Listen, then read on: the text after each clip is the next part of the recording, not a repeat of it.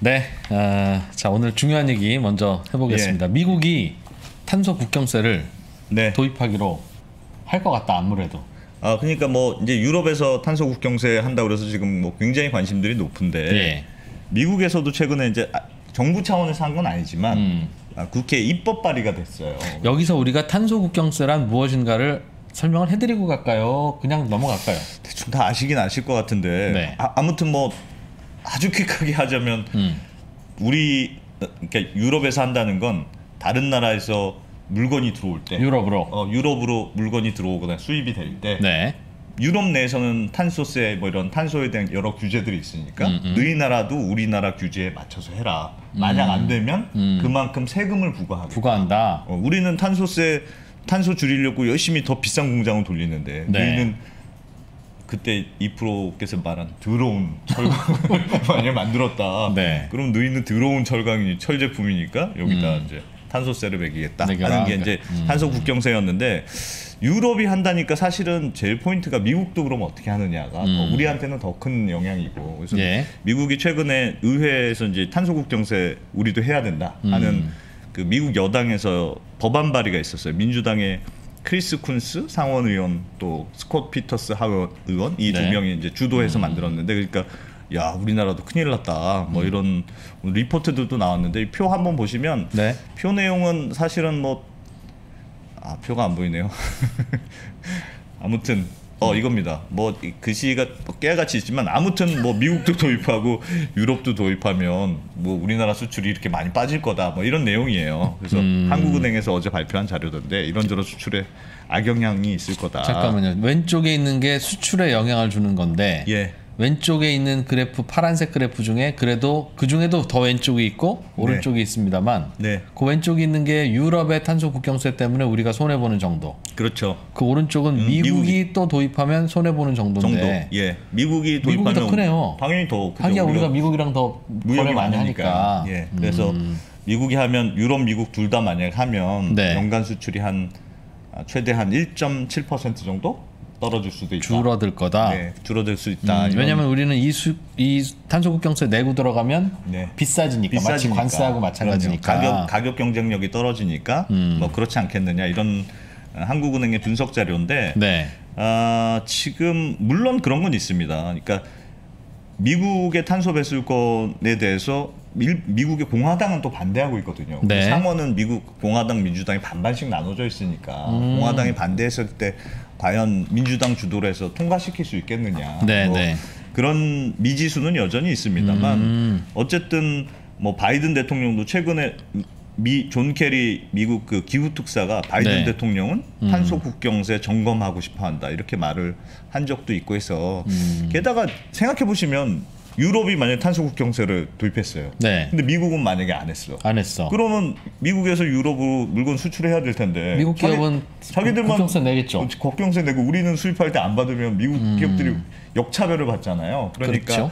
음. 유럽이라는 큰 경제 원역에서 하면 미국도 결국은 하지 않을 수밖에 없지 않겠느냐. 안 할 수는 없다. 음, 아니면 예상- 둘이 만나서 너네 진짜 이거 할 거냐? 우리 진짜 안 하려면 싸워 볼래? 같이, 같이 이렇게 하든지. 되는데 어, 그렇죠.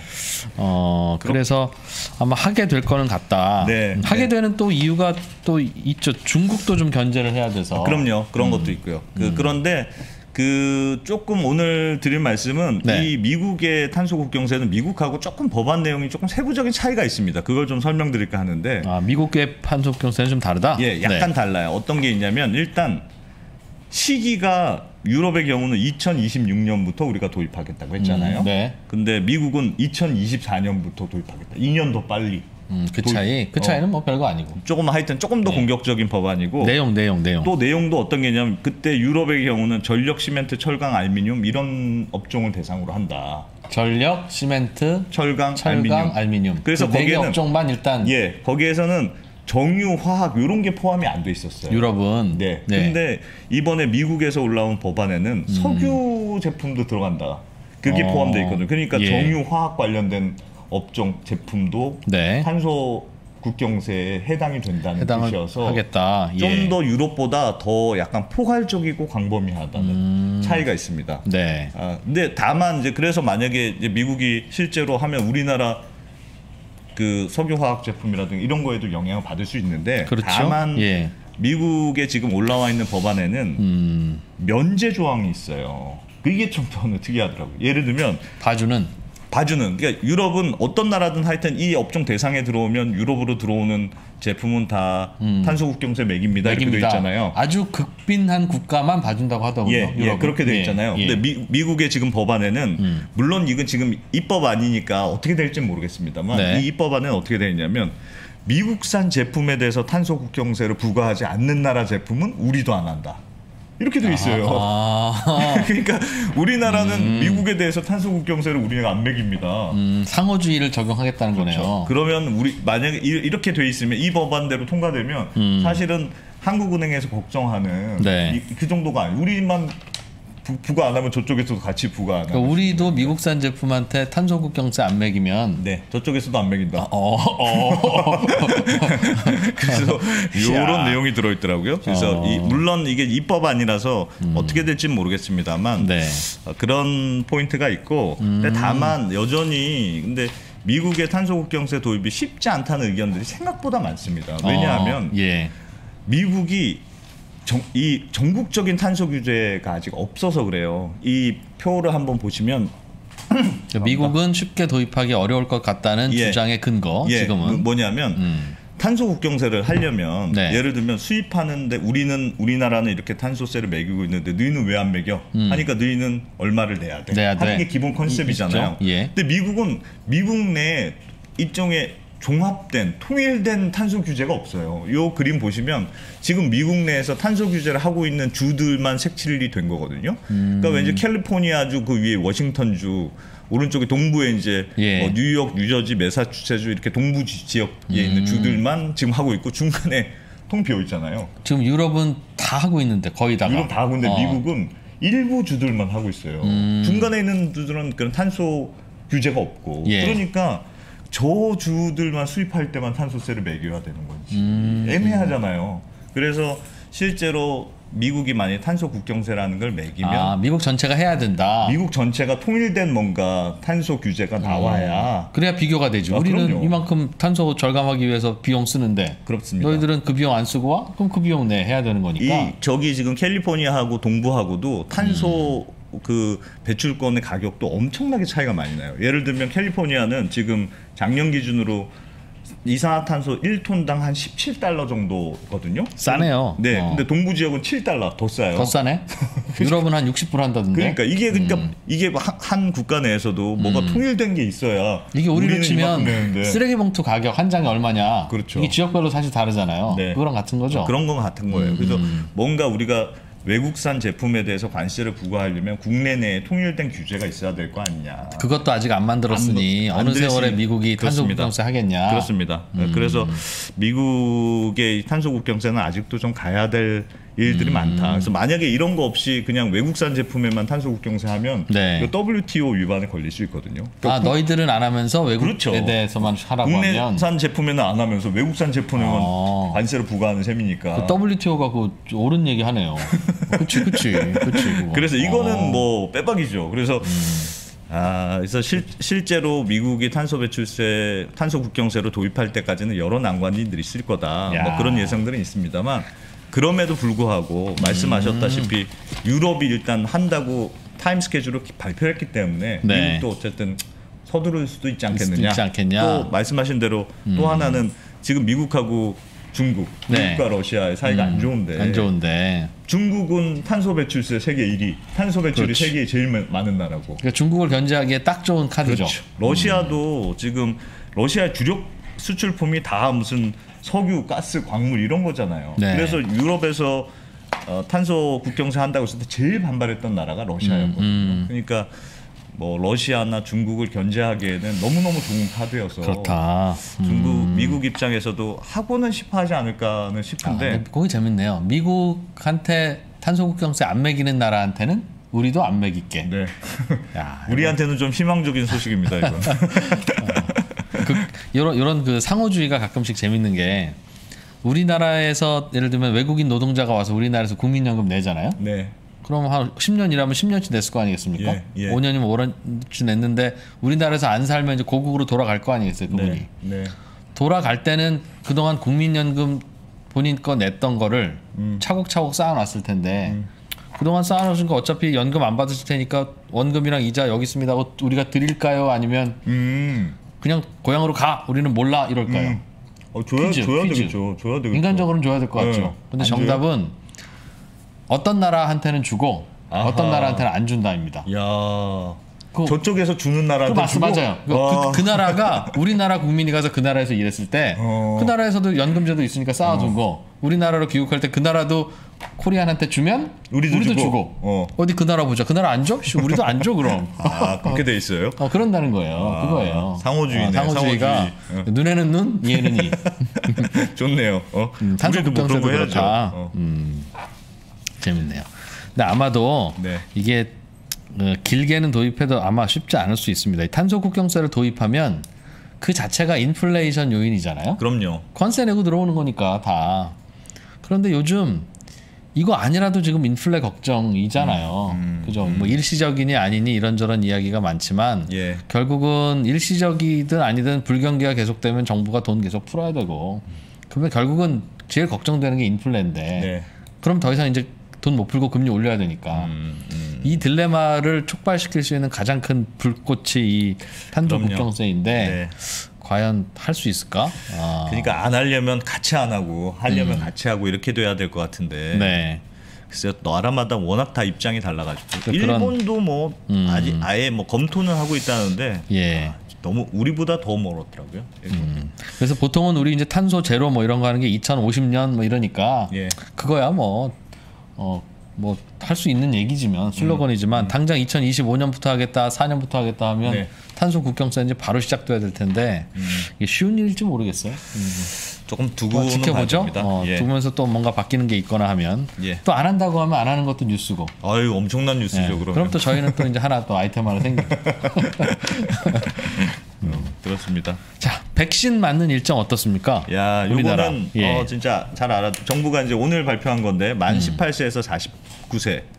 그러니까 이게 1972년생부터 2003년생에 해당되거든요. 네. 저도 여기에 해당됩니다. 음, 1972년부터 네. 2003년생까지. 네. 인구로 따지면 이게 2,400만 명이나 돼요. 음. 네. 음. 굉장히 많고. 근데 여기서 이미 이 중에서 600만 명은 맞았다고 하니까 이미 그 선착순 백신 뭐 이런 거, 노쇼 이런- 백신. 음. 이런저런 뭐 그러니까 자녀 백신 맞고 이런 분들이 있어서 그걸 빼면 한 1,800만 명 정도 돼요. 네. 이번에 대상인데 지금까지 1차 접종 백신 맞은 국민들이 한 1,800명 정도 되고 1,800만 명 정도 되거든요. 음. 예, 예. 그러니까 둘이 이게 만약에 이번 접종이 잘 끝났다 음. 그러면 국민들의 한 70% 정도는 이미 백신 완료가 되는 거니까 굉장히 네. 중요한 프로젝트입니다. 이번 게잘 되느냐 안 되느냐. 예. 어, 그래서 백신 이번에 이제 10대, 20대, 30대의 경우는 30대, 음. 40대의 경우는 모더나 혹은 화이자를 맞게 된다. 확보는 다 됐어요? 확보는 뭐 됐다고는 하는데 뭐 모르죠, 뭐 그거야. 음, 됐다고 하면 된 거죠. 정부 말 안 믿습니까? 중간에 잘 안 들어오는 경우가 가끔 있어서 정부가 거짓말할 리 없잖아요. 아 오늘 왜 그러세요? 어쨌든 지금은 잘 믿습니다. 들어왔다고 하니까 예. 그, 그 사전 그 이, 이- 예약하는 방법이 이렇습니다. 나는 이제 몇월 며칠 날 어디서 맞을 거다 이렇게 사전 예약을 해야 되거든요. 그러면 그 인터넷에서 코로나19 예방 접종 사전 예약 이렇게 찾으, 치시면 홈페이지가 금방 떠요. 네. 거기서 이제 예약을 하시거나 여러분 지- 잘 들으세요. 이런 거 자세히. 설명해 주는데 다른 데 없습니다. 물론 있긴 있겠지. 있긴 있어요. 있긴 있는데 기왕 여기서 보고 계시면 네. 잘 들으세요. 그 그리고 나서 아, 또 나중에 인터넷 찾고 하면 되게 힘듭니다. 진짜. 이번에 근데 사전 예약이 재밌는 게 어디 가서 한다고요? 그러니까 사전 예약을. 사전 예약 코로나19 예방 접종 사전 예약 이렇게 그냥 키워드 치면 네, 홈페이지가 나와요. 떠요. 네. 거기서 할 수 있고 아니면 지역 보건소에 전화하셔도 되고 음. 아니면 질병관리청 콜센터가 1339번이거든요. 거기 네. 전화하셔도 되는데 음. 이번 사전 예약에 꼭 알아두셔야 될게 예. 10부제로 운영돼요. 10부제. 그 뭐예요? 설명해 주세요. 10부제가 뭐냐면 이번에 이 표로 한번 보시면 음. 8월 9일부터 예약이 시작되거든요. 예. 근데 예전 지난번에 50대 그 할 때 너무 많이 해가지고 뭐 사이트가 다운됐네 뭐 좀 음, 음. 말들이 많았잖아요. 네. 그래서 10부로 나눈다. 아, 그새 또 자동차 10부제 아, 하듯이. 그새 또 그- 진화했구나. 한꺼번에 몰리지 말고. 그래서 예를 들면 9일 날이잖아요. 8월 네. 9일 날 첫 예약일인데 8월 9일 날은 예. 내 생년월일 끝자리가 9로 끝나야 돼요.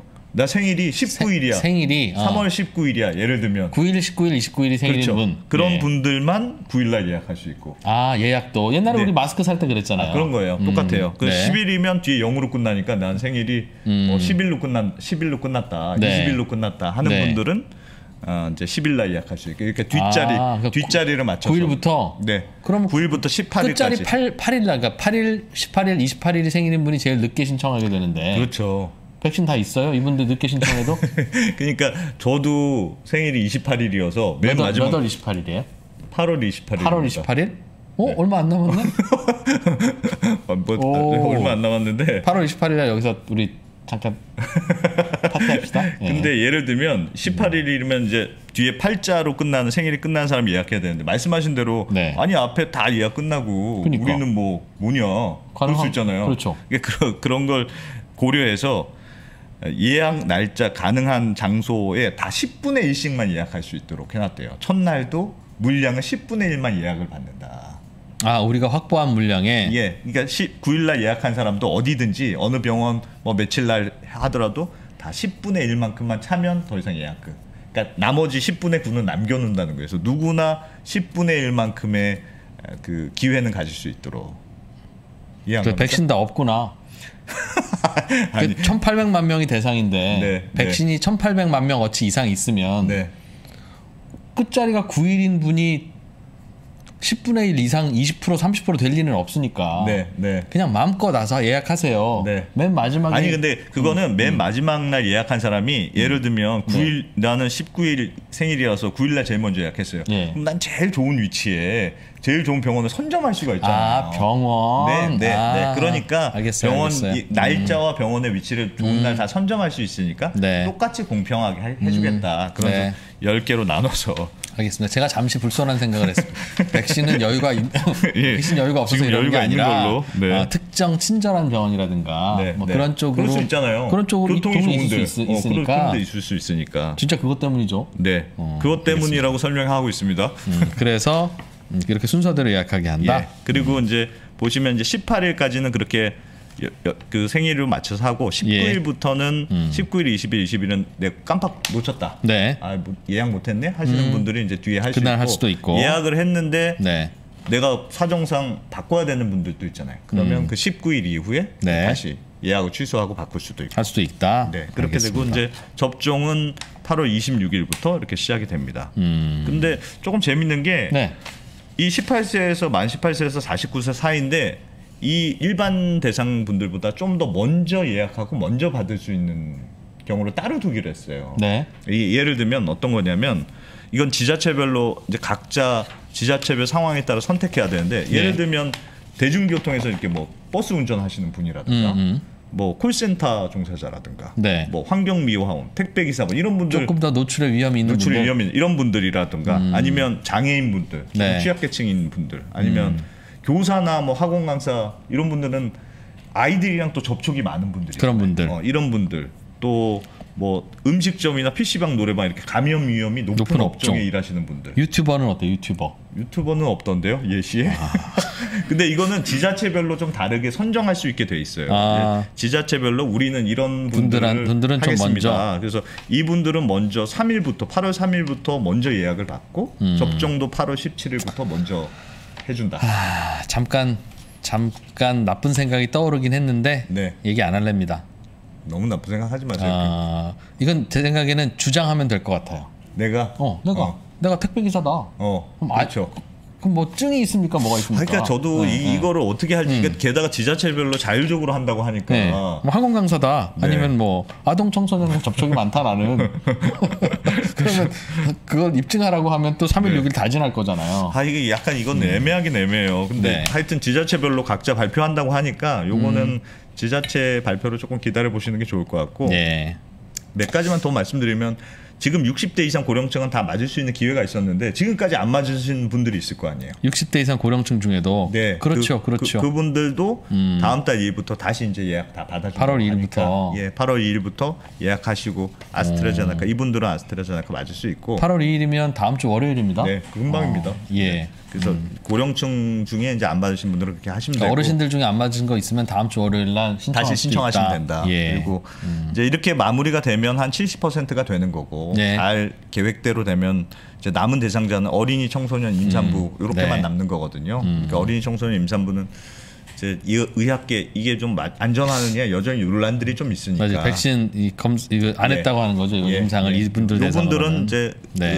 그좀 의료계의 의견을 수, 수렴해서 어떻게 할지 결정하겠다. 이렇게 오늘 음. 알겠습니다. 발표를 했습니다. 오 유용 유용하네요. 네. 음. 이건 뭐 그냥 잘 정리만 하면 되는 거라서. 아, 그래도 이거 사실 알아보려면 네. 눈도 아프고 침침하고 그래요. 이 특히 이제 49세 가까우신 분들은 저하고 네. 나이 비슷하기 때문에 네. 누가 좀 설명 좀 해줬으면 좋겠어. 저도 이번에 신청해서 한번 마- 읽기가 싫어. 맞아 보려고요 이제. 아, 자 여기까지 하고 바로 일당백 인터뷰 한겨레 신문의 김경락 기자 나옵니다. 음. 지난번에도 그 삼성과 관련해서 야 뜨거웠죠. 어, 공, 사실은 지난번에 했던 얘기는 삼성에 대한 이야기가 아니라 음. 어, 공정거래법이 어떻게 적용되고 어떻게 해석하는가 네, 어, 네. 그 이야기였는데요. 이번에도 어, 결국은 이제 구글의 인앱 결제라고 하는 게 과연 이게 에, 갑질에 해당하느냐 아니냐 네, 이슈 네, 아니겠습니까? 네. 어, 요거를 어떻게 해석하고 어떤 게 고민인지 음. 사실은 뭐 구글을 하는 게 잘못이라고 생각하십니까? 아닙니까? 이런 얘기하기에는 하면 너무 간단하죠. 네. 음, 그러나 이건 또 뭔가 논리가 뒷받침되어 있어야 되고 음, 법적인 문제도 있으니까 그 얘기를 한번 다시 한번 잘 들어보겠습니다. 잠시 후에 돌아올게요. 페이지 2 인기 강좌 두 편을 특별히 할인된 가격에 만나보시죠. 국내 최고 시황맨 두 명이 알려주는 박병창의 매매 기술 그리고 연불리의 친절한 주식 기초 교육 두 강의 패키지로 구매 시 특별한 혜택과 할인된 가격으로 수강할 수 있습니다. 자세한 사항은 페이지 2 공지사항을 확인하세요.